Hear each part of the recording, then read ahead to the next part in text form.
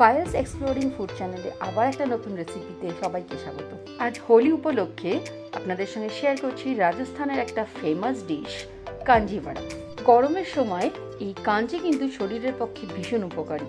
এটা কিন্তু একটা প্রোবায়োটিক ফার্মান্টেটেড ওয়াটার যেটা ডাইজেশন গাট হেলথ কনস্টিপেশনের জন্য ভীষণ ভালো। সঙ্গে ওয়েট লস স্কিন হেলথ এবং শরীরে ক্লান্তি দূর করতে এটা কিন্তু ভীষণ একটা কার্যকরী। এটা বানানোর জন্য প্রথমেই একটা বড় কাছের পাত্র কিংবা মাটির পাত্র নিয়ে তাতে দু টেবিল চামচ ক্রাস্ট ইয়েলো মাস্টার শিটস এবং ওয়ান টেবিল চামচ রাই ক্রাশ রাই সঙ্গে হাফ চামচ করে হলুদ গুঁড়ো, লঙ্কার গুঁড়ো এবং গোলমরিচের গুঁড়ো এবং সামান্য সল্ট তার সঙ্গে দু টেবিল চামচ ঘরে পাতা টক দই খুব ভালো করে ফেটিয়ে মিশিয়ে নিতে হবে।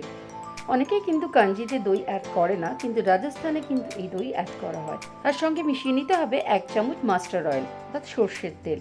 এই সমস্ত উপকরণ দিয়ে খুব ভালো করে ফেটিয়ে নিয়ে এর মধ্যে এক টুকরো চারকোল, এর উপর একটু ঘি দিয়ে একটা স্মোক তৈরি করে নিতে হবে ঢাকা দিয়ে।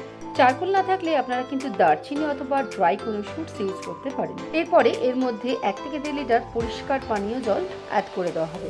জলের সাথে সমস্ত কিছু খুব ভালো করে মিশিয়ে নিয়ে একটা কাপড় চাপা দিয়ে বা কোনো ভালো কিছু ঢাকনা দিয়ে একটা গরম জায়গা কিংবা রোদের মধ্যে তিন থেকে চার দিন পর্যন্ত কিন্তু এটাকে স্টোর করতে হবে। মাঝে মাঝে একটু করে স্টার করে দিতে হবে।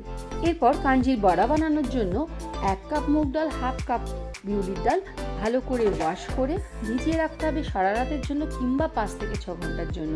তারপরে আবার ভালো করে ওয়াশ করে একটা মিক্সার গ্রাইন্ডারের মধ্যে এই ডালগুলো নিয়ে সঙ্গে একটু কাঁচা লঙ্কা কয়েকটা আদা কুচি রোস্টেড জিরা ক্রাশ করে নিয়ে সেটাও এর মধ্যে দিয়ে দিতে হবে।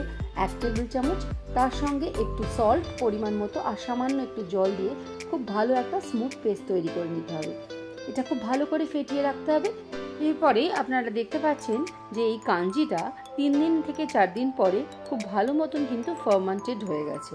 এটা কিন্তু মাটির পাত্রে রাখলে ঠান্ডা ঠান্ডা এই পানীয় ভীষণই ভালো লাগবে খেতে। এরপর একটা কড়াইয়ের মধ্যে তেল গরম করে ডালের যে ব্যাটার তৈরি করে রেখেছিলাম, সেখান থেকে অল্প অল্প করে নিয়ে বড়ার আকারে ভেজে নিতে হবে। এপিট ওপিট করে ভালো করে ভেজে নিতে হবে বড়াগুলোকে।